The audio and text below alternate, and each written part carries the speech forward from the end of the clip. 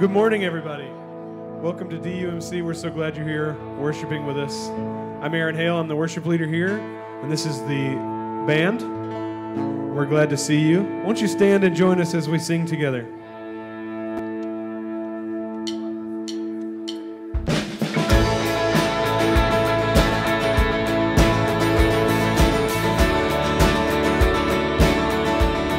We're going to sing Who Breaks the Power of Sin and Darkness.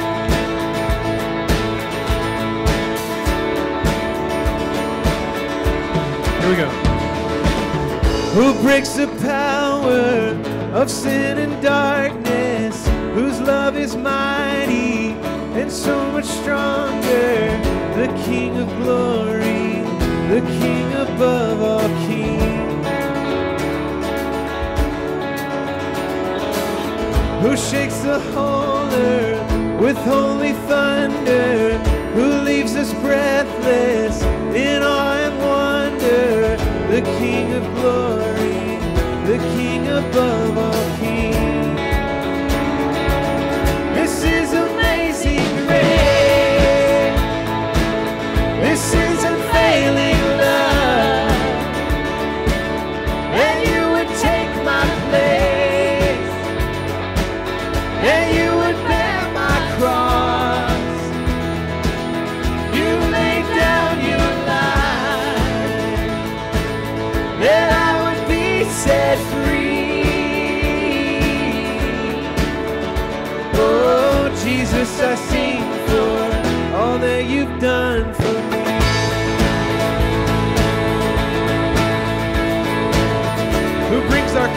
back into order?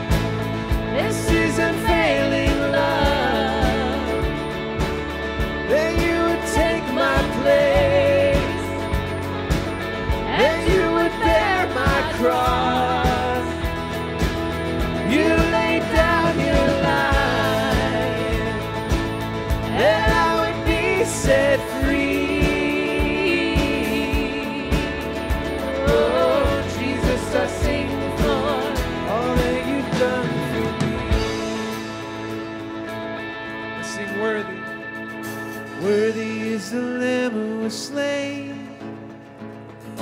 Worthy is the King who conquered the grave. Worthy is the Lamb who was slain. Worthy is the King who conquered the grave. Let's sing that. Worthy is the Lamb who was slain. Worthy is the King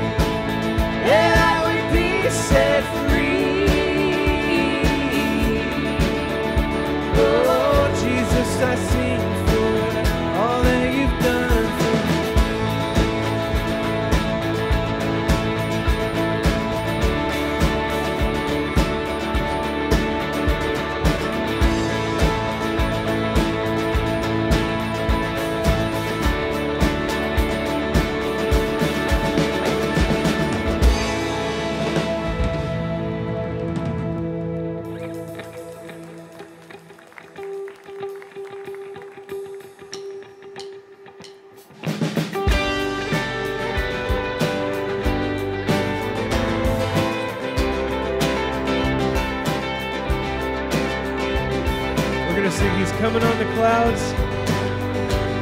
Kings and kingdoms will bow down. He's coming on the clouds. Kings and kingdoms will bow down. And every chain will break as broken hearts declare his praise.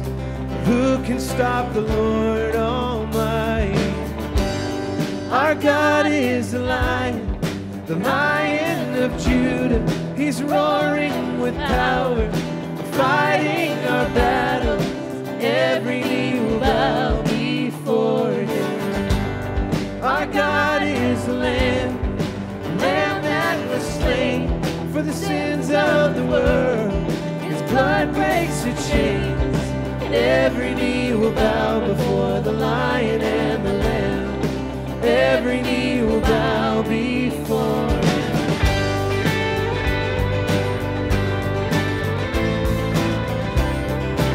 So open up the gates.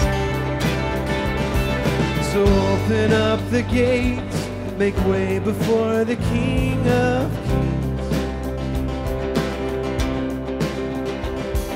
The God who comes to save is here to set the captives free. Who can stop the Lord Almighty? Our God is a lion, the lion of Judah. He's roaring with power, fighting our battles. Every knee will bow before him. Our God is the Lamb, Lamb that was slain for the sins of the world. His blood breaks the chains,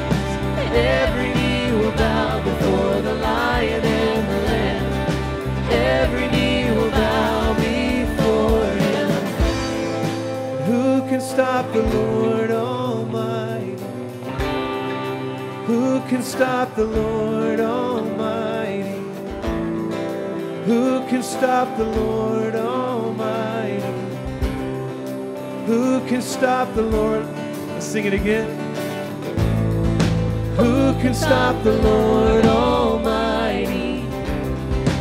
Who can stop the Lord Almighty? Yeah. Who can stop the Lord Almighty? Can stop the Lord?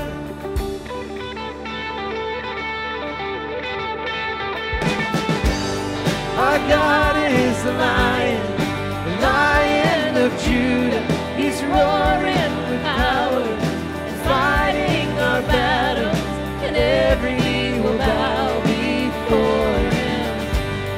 Our God is the Lamb, the Lamb that was slain sins of the world.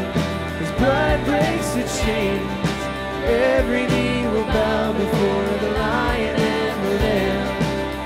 Every knee will bow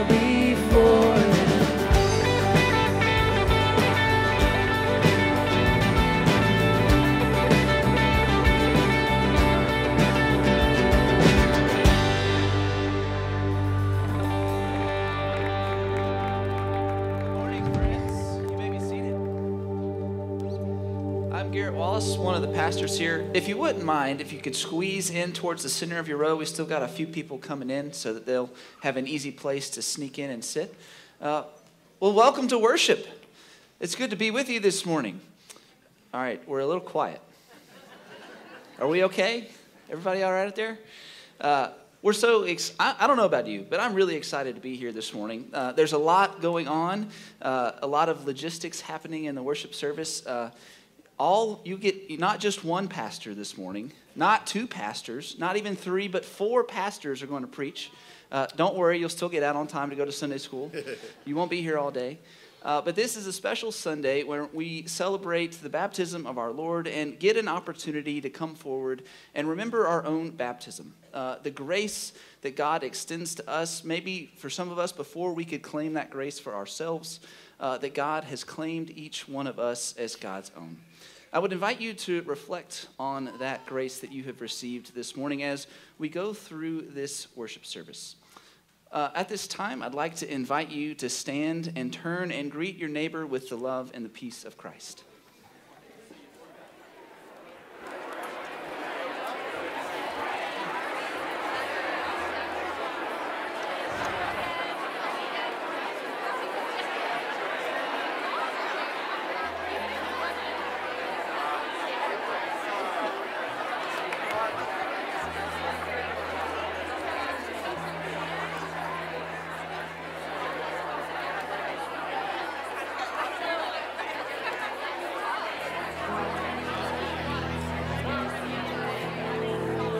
As we continue in worship, hear these words from Psalm 66. Come and hear, all you who fear God. Let me tell you what he has done for me.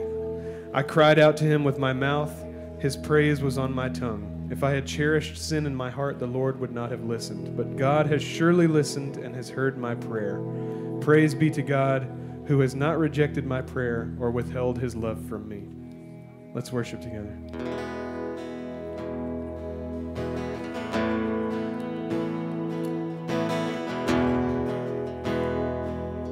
Won't you stand and join?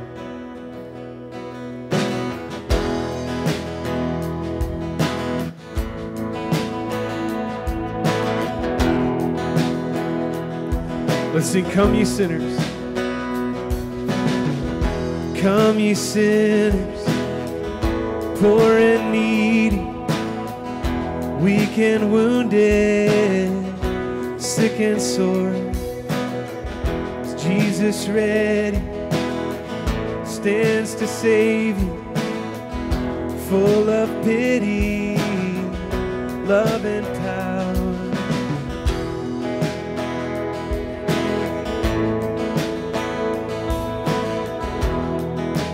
Come, ye thirsty. Come, ye thirsty. Come and welcome God's free bounty glorified. True belief and true repentance, and every grace that brings you nigh. I will arise. I will arise and go to Jesus. He will embrace me in his arms.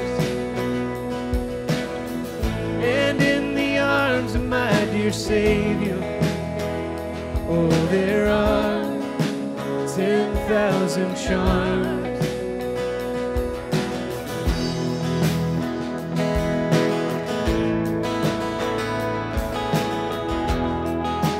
Let's sing, Come, you weary.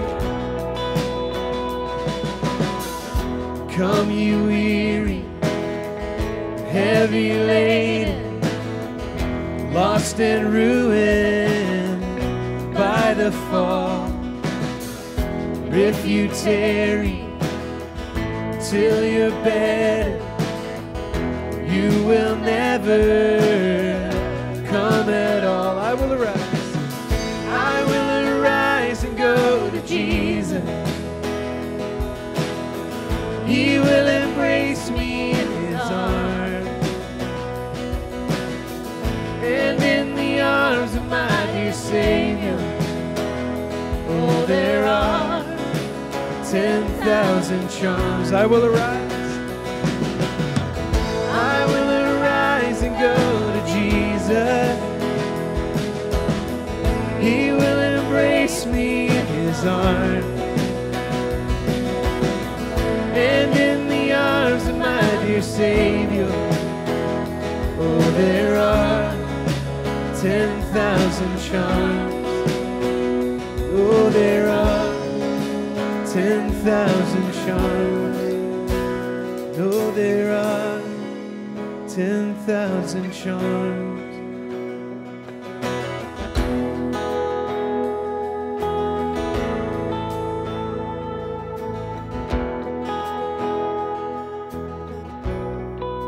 Would you pray with me?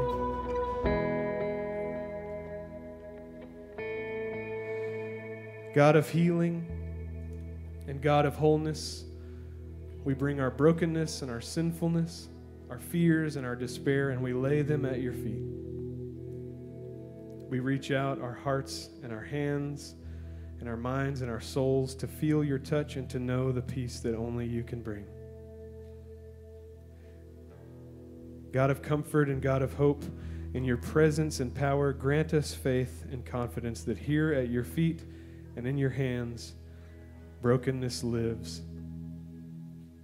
Brokenness, broken lives, excuse me, broken lives are made whole. God, this morning as we worship, we also want to lift up those in our community who are hurting and grieving, and we ask that you remind them of your love and you bring them comfort right now. We lift up Jessica and Justin Ferguson on the death of Jessica's mother, Gail Smith Gass, as well as Phil Haverfield on the death of his wife, Suzette. Lord, bring peace and comfort in their time of mourning. And we also celebrate with all those who are celebrating in our community as well. We thank you so much for your blessings, Lord. Lord, we know that true healing is more than restoration of flesh and blood or knitting of bone to bone. We know that true healing is wholeness, where body and soul and spirit unite. True healing is peace, the knowledge of your presence, a hope that knows no end. Lord, we know that true healing cries out, Father, not your will, but ours, but yours. Not my will, but yours. Goodness. true healing knows love perfectly, a love that casts out all fear. True healing overcomes and endures forever. So, God, we arise and we come, we come to you, we come to your healing waters, and we ask you to cover us with your restorative power and grace. Heal us and make us whole, body, heart, mind, and soul. We pray all these things in the name of Jesus, your Son, and we lift up the prayer he taught us to pray, saying, Our Father, who art in heaven, hallowed be thy name. Thy kingdom come, thy will be done, on earth as it is in heaven. Give us this day our daily bread, and forgive us our trespasses, as we forgive those who trespass against us. And lead us not into temptation, but deliver us from evil. For thine is the kingdom, and the power, and the glory forever. Amen. Let's sing that chorus together. I will arise. I will arise and go to Jesus. He will embrace me in his arms.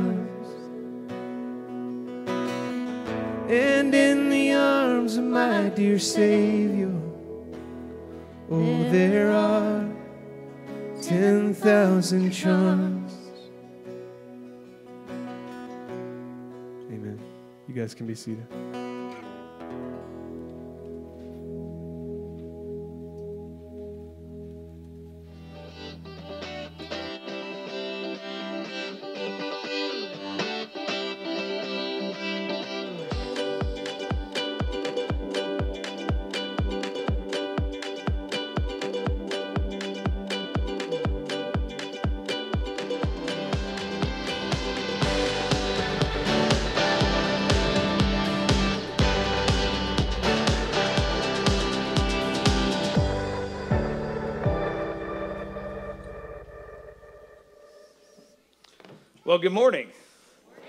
A little different up here today.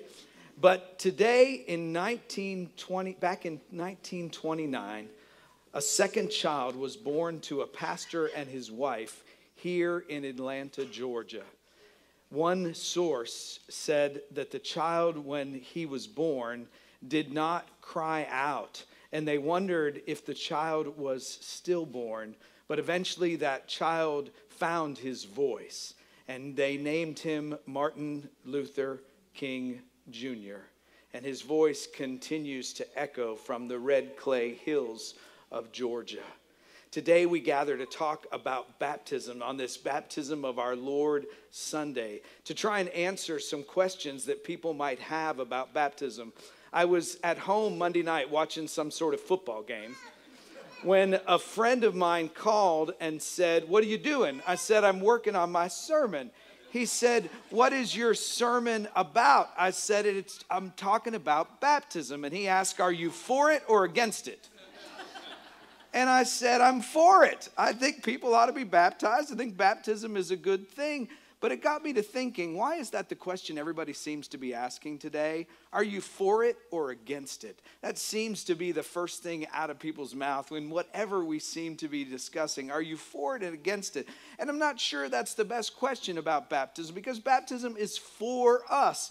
It is for me. It is for the world. It's something God does in and through us. From the beginning of our lives, the Holy Spirit starts working in us and wooing in us to make a decision for Christ for ourselves, never coercing us, but always inviting us to make a decision for Christ. And people have all sorts of questions about baptism.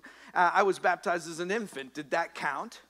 I was baptized like Kirby Smart with Gatorade the other night. Does that count? Uh, how much water is enough? And what is that prayer that we pray over the water? How does that work? Should it be done in public or in private?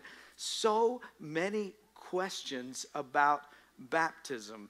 One Catholic parishioner had gone to work on the fish fry at his church one Friday morning when he noticed that the priest was also in the kitchen and he said to the priest he said excuse me you know why are you here so early father he said well i'm preparing the holy water for this week's baptisms and he was intrigued and said, Can I watch you do that? Can I help? And he said, Oh, no, it's not a very difficult process. I don't need any help, but you're glad to watch. He said, How do you make holy water? He said, Oh, you just boil the hell out of it. so many questions about baptism, so many things that we want to know about baptism. When someone gets baptized in this church, I often ask the family the next week, Did it work? And people will say things like, oh, yes, my child has been perfect since baptism last week. Or our children have been incredibly well behaved since you baptized them. And I asked one person, did it work? And they're like, not yet. but we trust that it will. We pray that it will. And that's the whole idea of the unfolding life in Christ. One of our members went at, said to me, he said, I was baptized as an infant, and all I have is a baptismal certificate to show for it. What does that mean? And I said, You know what that means? It means someone loved you very much. It means someone loved you so much that they brought you before God and offered you back to God, and that God claimed you as his own. And that is a beautiful thing for God to claim us as an infant or as an adult. We think about something dramatic happening to us when it's an adult, like happened to Delmar as he went down to the river to pray. You might remember this. The preacher done washed away all my sins and transgressions. It's a straight and narrow from here on out. And heaven everlasting's my reward. Delmar, what are you talking about? We got bigger fish to fry. The preacher said all my sins is washed away, including that Piggly Wiggly I knocked over in Yazoo. I thought you said you was innocent of those charges. Well, I was lying. And the preacher said that that sin's been washed away too. Neither God nor man's got nothing on me now. Come on in, boys. The water is fine. Come on in. The water is fine. I hope that if you have not been baptized, that you will consider it as we gather to remember our baptism today. Here, coming to take water and to place it on our forehead, place it on our hearts, on our hands to remember the baptism that God had for us, that we've been arguing about since the very beginning, as we hear from Matthew, the third chapter, the 13th through the 17th verses. See how John the Baptist and Jesus are arguing from the very beginning. Then Jesus came from Galilee to John at the Jordan to be baptized by him. John would have prevented him, saying, I need to be baptized by you, and do you come to me? But Jesus answered him, Let it be so now, for it is proper for us in this way to fulfill all righteousness. Then John consented. And when Jesus had been baptized, just as he came up from the water, suddenly the heavens were opened to him, and he saw the Spirit of God descending like a dove and alighting on him. And a voice from heaven said, This is my Son, the beloved, with whom I am well pleased. This is the good news according to the Gospel of Matthew.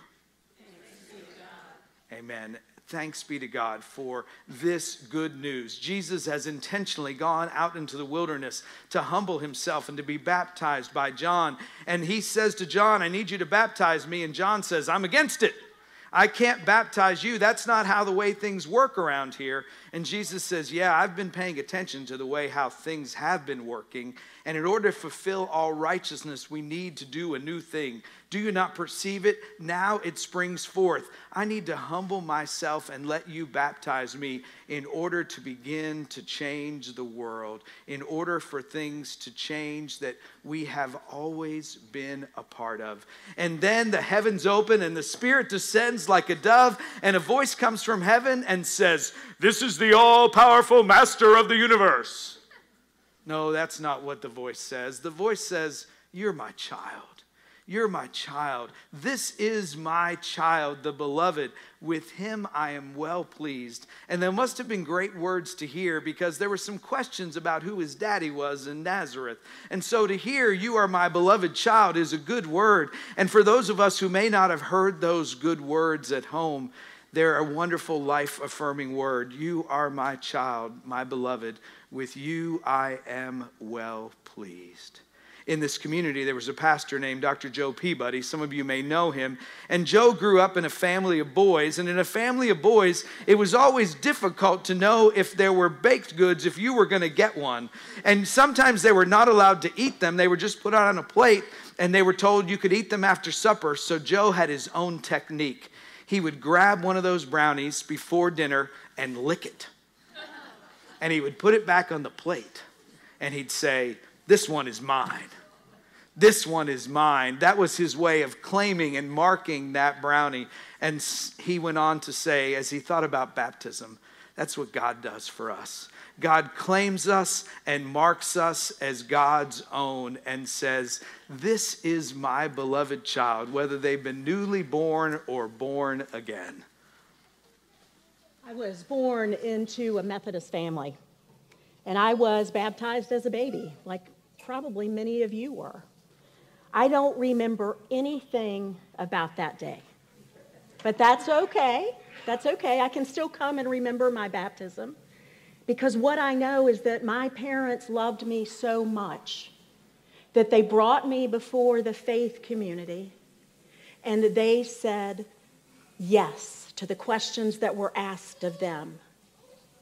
And as a helpless infant who was unable to do anything for myself, God claimed me as his own. That's what we call prevenient grace, grace that goes before. God prepares the way of grace for each and every one of us. God claimed me that day as one of God's own expecting nothing in return because obviously, as a baby, there was nothing I could do in return. My baptism was a gift of God's grace. It was an act of God in and through the church. Infant baptism. We get lots of questions about that, mainly from some of those of you that may have grown up in the Baptist church. It's actually an ancient and almost universal practice of the church that dates back to the New Testament period. We are all born into an imperfect world, and we all have a natural inclination to sin. Humans are greedy. We are boastful. We are self centered. And our sinfulness separates us from God. So we need help. We need help to turn away from that sinfulness and turn back to God. We believe that God has chosen the sacrament of baptism as one of the ways in which that divine love comes to us a gift of grace. The grace offered to us in baptism is grace made available through the work of Jesus Christ. When we receive baptism, the forgiving, cleansing, saving power of God is applied to each of our lives. This is such an important part of God's working with us that when Jesus, the risen Jesus, appeared to his disciples for the last time, he instructed them to go out and to baptize. Our book of discipline, that book that the United Methodist Church has that tells us how to do things, says, Because the redeeming love of God revealed in Jesus Christ extends to all persons, and because Jesus explicitly included the children in his kingdom, the pastor of each charge or church shall earnestly exhort all Christian parents or guardians to present their children to the Lord in baptism at an early age. If parents don't intend to raise their baby, their child, in a faith community, it's not an appropriate use of the baptismal covenant. If parents are baptizing their children only to ensure salvation, we know that salvation is a free gift of God made possible by the work of Christ. So if a parent is having their child baptized to make sure they're saved, or out of a sense of duty, or because their mother or mother-in-law told them to do it, that is not that is not a good use of the baptismal covenant, friends. At Dunwoody United Methodist Church, parents of the children coming forward who can't answer for themselves or adults who want to be baptized meet with one of the clergy Typically, it's the clergy person who is doing the baptism. And we explain what the questions are that will be asked of you when you present your child or when you present yourself for baptism. We explain what they mean and we answer any questions it's expected that when the children are older, if they're baptized as infants, that they will take part in confirmation. And in confirmation, they will learn the answers to the questions and what that means. And then, after they've spent time studying what it means, they will be asked those very same questions. And if they answer yes, they will be confirmed in the church. It is their time to profess their faith for themselves. Adults who are baptized for the first time in the United Methodist Church, we don't rebaptize, friends, because God's work works forever. He doesn't make mistakes. And we accept baptisms from other denominations.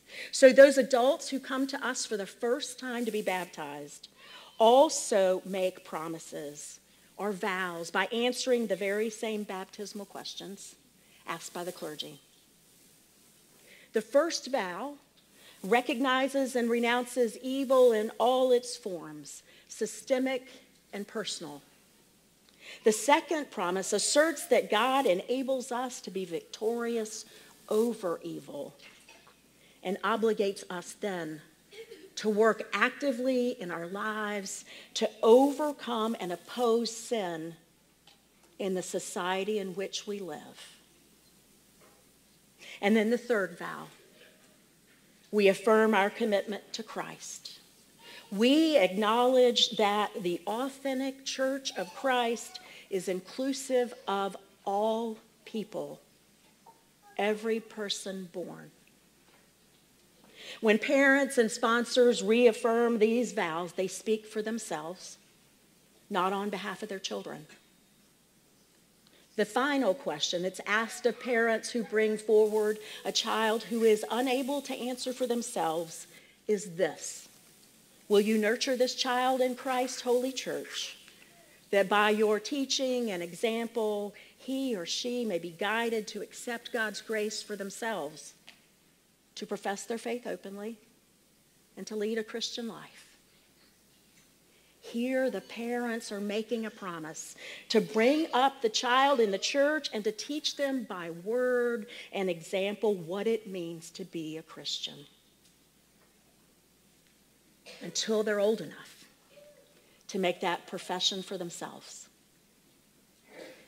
And because Christianity is not lived out in isolation, but in community with other Christians, the congregation then reaffirms its own faith and commitment and promises to nurture, teach, and support those whose commitments are being affirmed.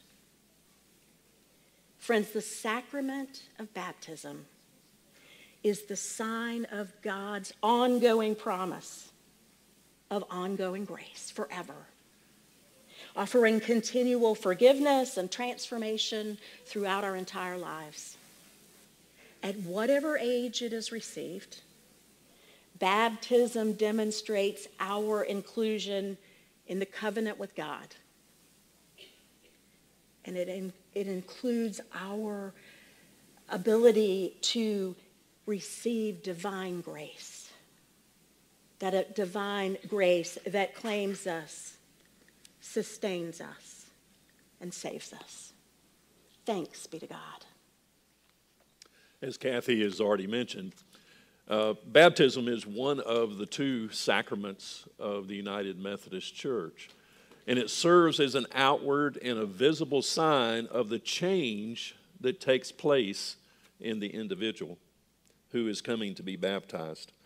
It is a public affirmation of the initiation that each of us has into the community of faith. By our baptism, baptism, we are welcomed into the body of Jesus Christ, which is called the church.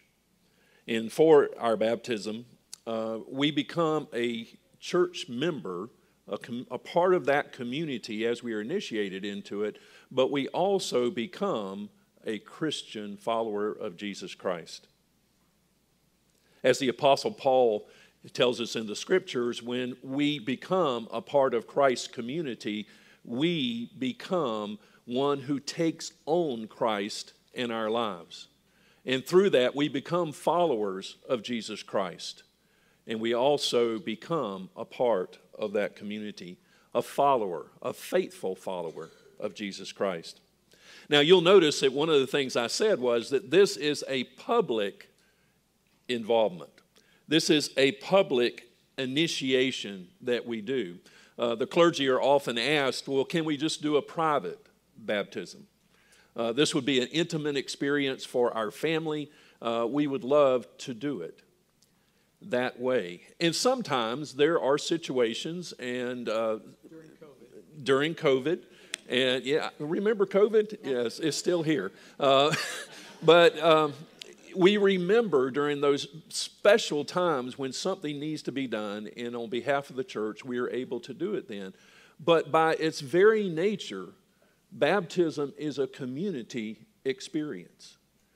Not only is it important for the person who is being baptized or licked by God, uh, as reminded today. Uh, it is something that's a part of our community as well.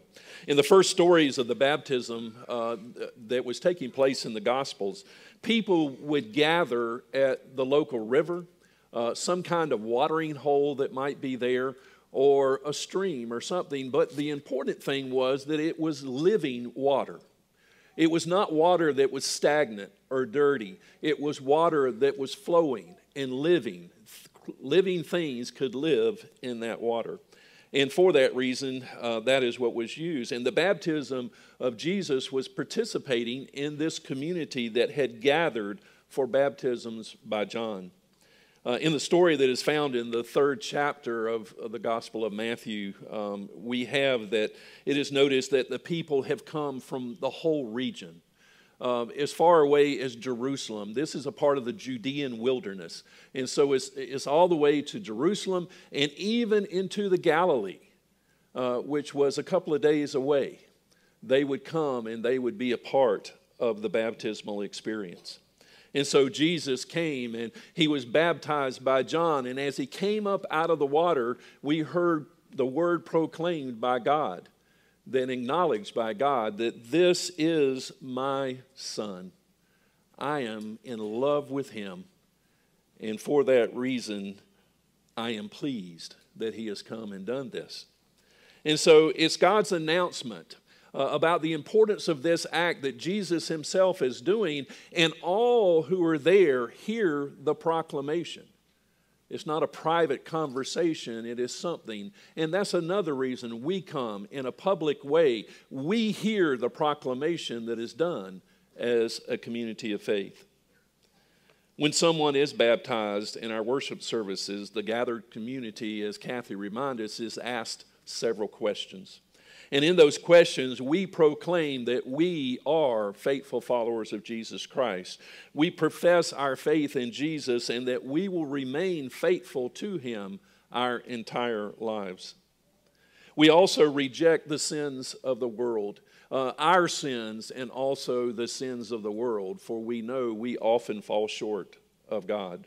We promise to continue to serve Christ in this world, not only here in this community, but in God's community of the world. And we also promise that we're going to live Christ like lives. We're going to set an example for those who are coming to be baptized so they will know how to be faithful followers of Christ. They will know what it means to live a life similar to theirs. And for the one being baptized, and for each of us, the church community recognizes that this is a community that will take responsibility for the individual who's coming to be baptized, whether they be children, youth, or adult they will come and be disciplined in the faith just as each of us has been disciplined in the faith, and the church will provide all that is needed. And then ultimately, we journey together through life with the people that have been baptized. We proclaim that we as a community are going to walk the journey of faith with them, both this day and forevermore. Thanks be to God. Okay, so there is this funny, famous story about Constantine. And if you're not as big of a history nerd as I am, Constantine was the Roman emperor who made Christianity the state religion of Rome back in the fifth century. Okay, so Constantine converted to Christianity, and he thought that everybody else should too. Um, but despite this fact, he waited as long as he possibly could to be baptized. He actually waited until he was on his deathbed because he wanted to be able to get as much sinning in as possible. And then when he was baptized, he wanted as little time between his baptism and his death as possible, just so he didn't undo all that good work, right? He didn't want to have any opportunity to mess it up. Now, that's kind of a funny story, but one of the things that Constantine understood, that we understood about baptism, that we understand about baptism, is that it works to save us through the forgiveness of sin. But the thing that I think he gets wrong, or at least he understands differently than we do today, is that baptism is not some kind of magic ceremony, right? It's not like a sin disinfectant bath. It doesn't just work like that. Instead, it is a physical reminder of the ways that God's Holy Spirit is constantly working to perfect us in love, both in that moment that we're baptized and throughout our entire lives. And the way that we practice baptism here in the United Methodist Church actually drives home that point. So if you've witnessed a baptism here at DUMC in the last year or two, you probably know or you've noticed that before the baptism, the pastor will come and say a blessing over the water. And they, they pray a prayer that starts out like this Eternal Father, when nothing existed but chaos, you swept across the dark waters and brought forth light. In the days of Noah, you saved those on the ark through water. After the flood, you set in the clouds a rainbow and when you saw your people as slaves in Egypt, you led them to freedom through the sea. Their children you brought through the Jordan to the land which you promised. And in the fullness of time, you sent Jesus, nurtured in the water of a womb. He was baptized by John and anointed by your Spirit. He called the disciples to share in the baptism of his death and resurrection and to make disciples of all nations. So, this prayer, um, which continues after this, but this part is enough to let us know that it is called a flood prayer by people who are worship geeks like me.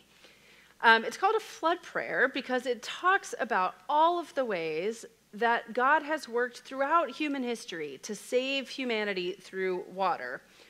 It was actually written by Martin Luther back in the 16th century. It worked its way into the Book of Common Prayer of the Church of England back in 1662. And because John Wesley was an Anglican, he brought it over to Methodism. And the flood prayer tells this story of how God has worked throughout our history.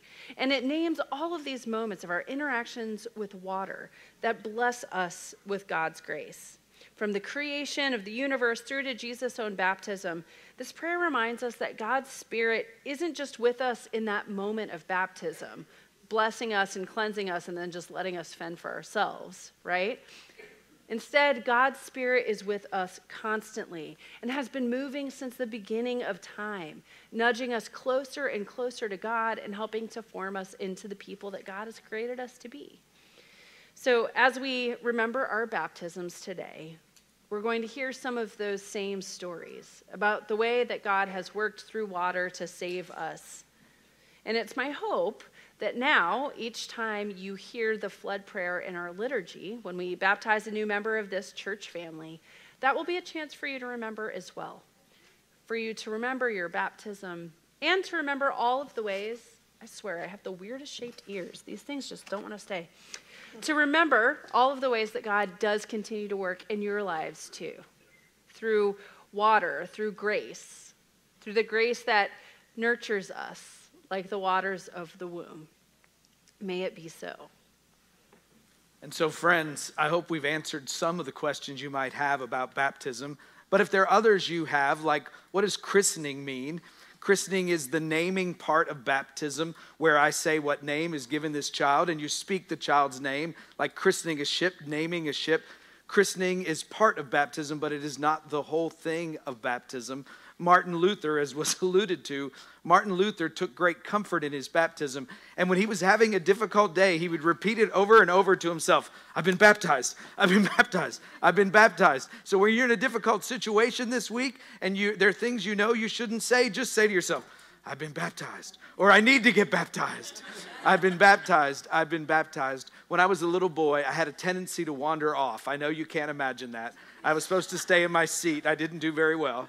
And I wandered off as a, as a little boy. And so my father, because it happened so often, he created a code word for us. Because if I got lost in the Kmart, he didn't want to always say, Will Phil Schroeder please report to the front? He said, Your middle name is Daniel, and my middle name is Daniel. His name was Paul, and he said, You'll hear from the loudspeaker, Will Dan Paulson please report to the front? Will Dan Paulson please report, report to the front? And I knew in that moment that however far I had wandered off, my dad was always calling me back into relationship, helping me to remember that I was claimed by him and that I was his own. Baptism is something that we do once, but God always calls us back into that relationship and maybe calling you more deeply into that relationship. We were had Bible study here Tuesday morning and one of the men said, I was baptized as an infant and then I kind of forgot about it. I mean, it wasn't something I really lived into. I was baptized as an infant, but then there became a moment in my life when things weren't going so well. And he said, I remember praying, God, I need help that only Jesus can give. God, I need the help that only Jesus can give. And in a sense, he activated his baptism in a way that had never been activated before as he allowed the Holy Spirit to live more fully into his life. So, friends, come on in. The water's fine. In the name of the Father, and of the Son, and of the Holy Spirit. And the people of God said, Amen. Friends, as we. Here, I'm going to give this to you, Kathy.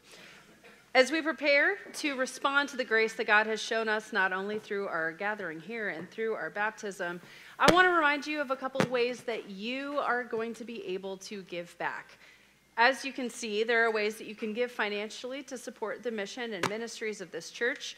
You can put uh, a donation into the uh, baskets as they are passed here in just a moment.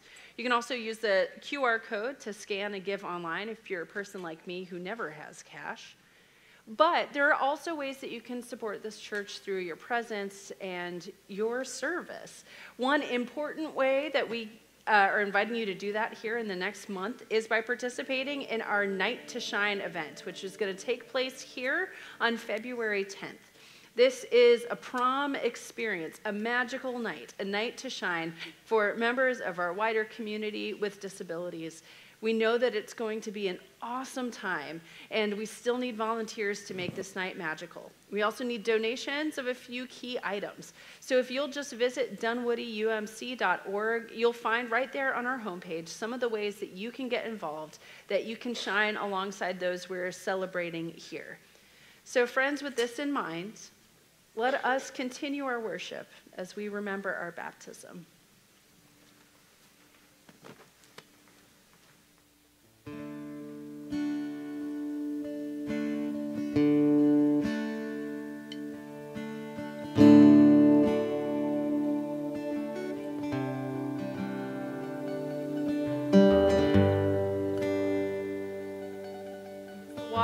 Which God breathed, and the Spirit brooded when God began creating us.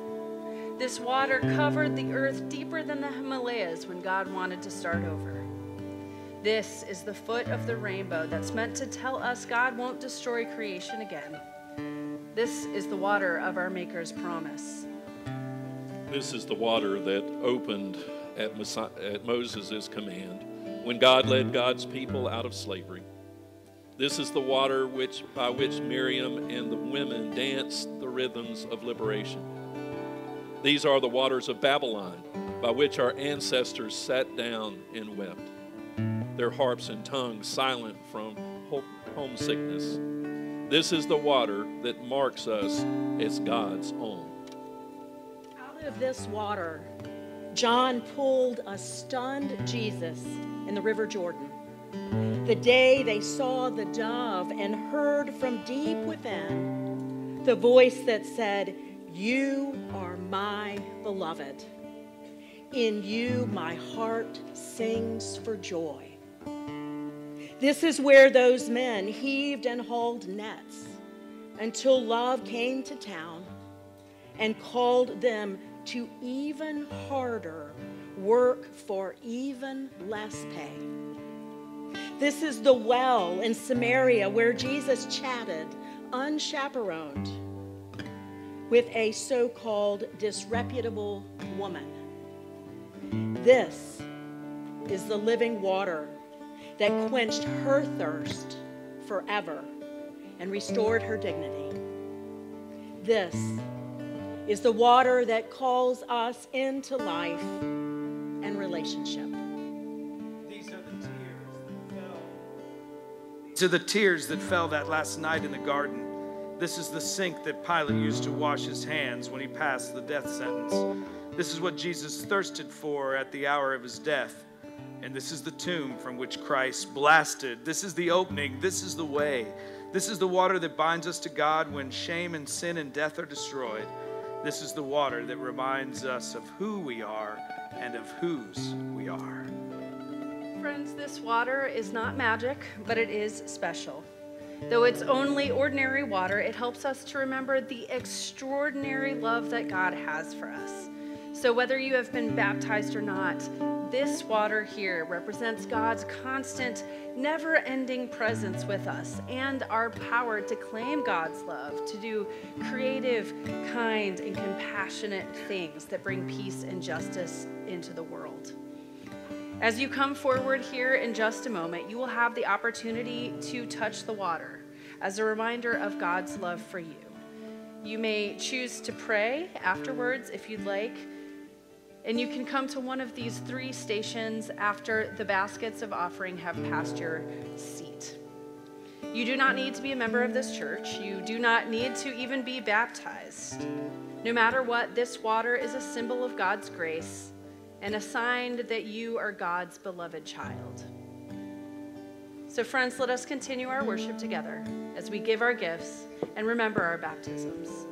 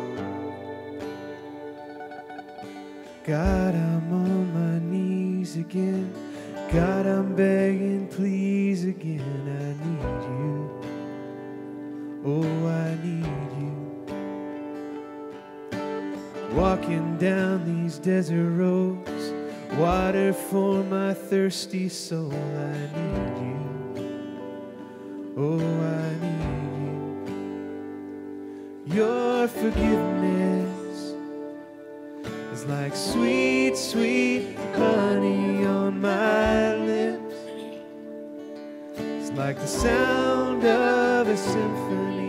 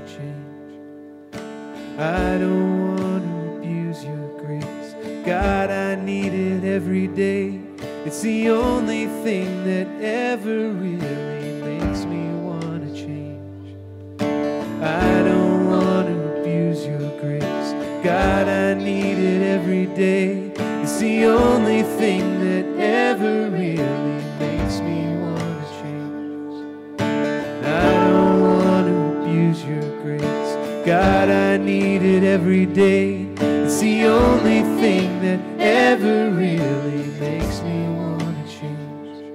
Your forgiveness is like sweet, sweet honey on my lips. It's like the sound of a symphony to my ears. It's like hope.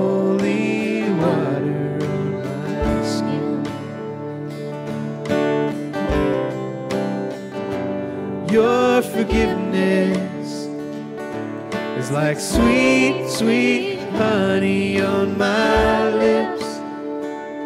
It's like the sound of a symphony to my ears. It's like, oh.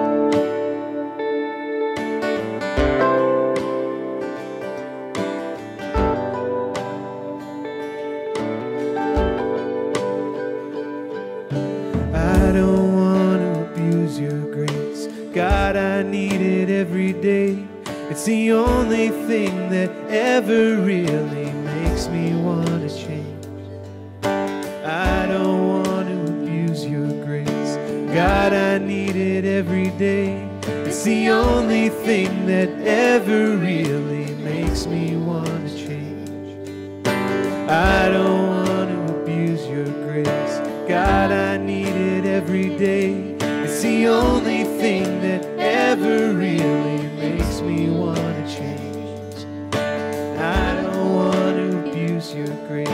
God, I need it every day. It's the only thing that ever really makes me want to change.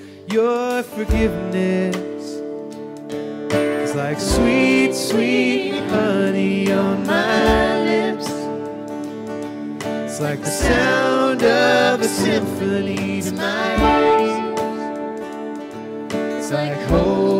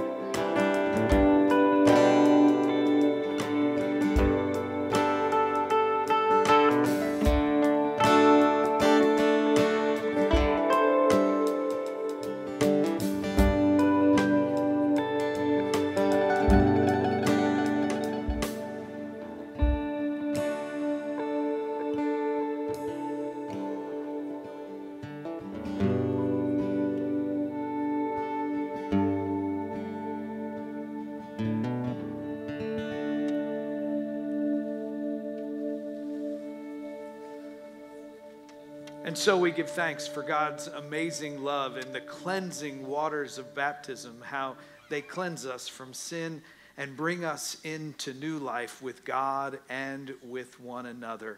So look at your neighbor now and tell him, I'm baptized, or at least I remember mine.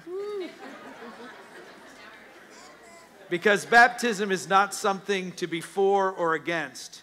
It is God's word that says, I am for you.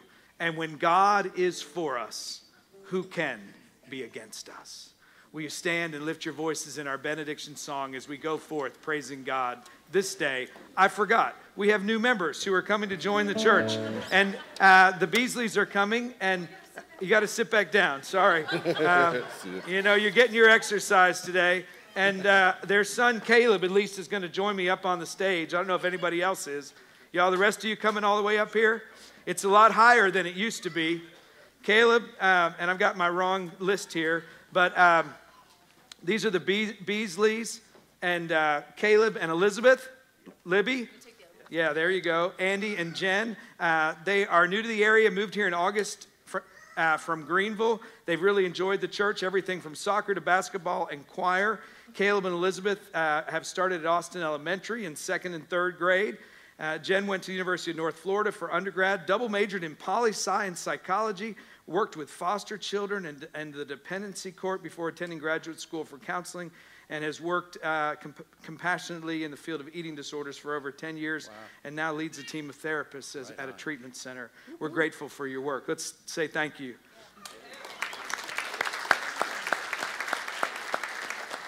Andy went to the Naval Academy. Any others out there? Okay. And, and, and later got his MBA at GWU and works for Michelin. They live in the branches and look forward to getting more involved in men's and women's ministry here and adult Bible study. So I'll ask you, as you have already remembered your baptism, will you live out your faith through this community, through Dunwoody United Methodist Church, and uphold it with your prayers, your presence, your gifts, your service, and your witness? We will. We welcome you as the newest members of the Dunwoody United Methodist Church. Caleb, what do you think about being up here? You think it's okay? Welcome. We know that uh, you will be a blessing to us, and we hope to be a blessing to you as we stand together and lift our voices in our benediction song. If you guys will have a seat for a second, I just have a quick. oh, Holy Ghost, hold us